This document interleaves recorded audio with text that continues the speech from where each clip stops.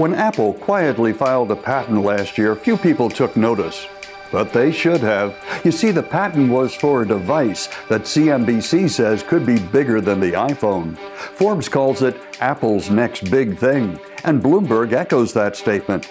In other words, we're looking at a life changing device, something that could be in the hands of every American by this time next year. But there's one key detail about this new device that most people are overlooking.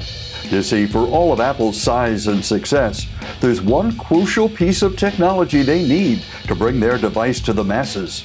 It's owned by a tiny $3 company that almost nobody's talking about. A company that could explode by as much as 9,000% once things really get going. You know, the thing is, we've noticed what's going on, and we reveal both Apple's secret device and the company that's making it all possible. Get all the details right here.